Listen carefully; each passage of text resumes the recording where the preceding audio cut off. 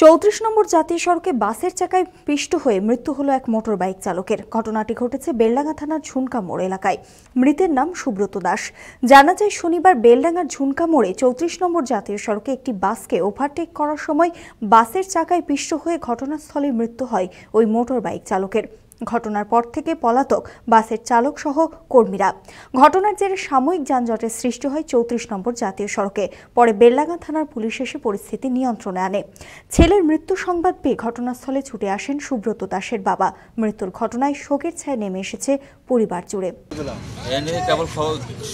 Phone করল বন্ধু বলছে, চলেন।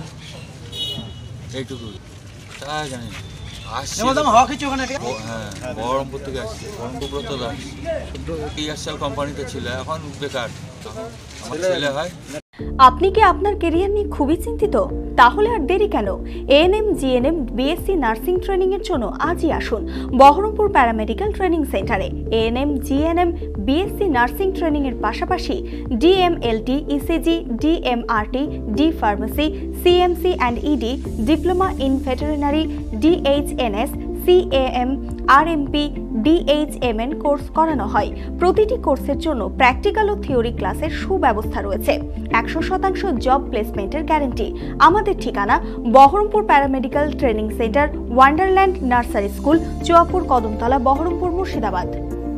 যোগাযোগ number nine seven three two one two six one seven nine অথবা nine seven three two nine four zero three seven three এবং eight six one seven six five six four eight five.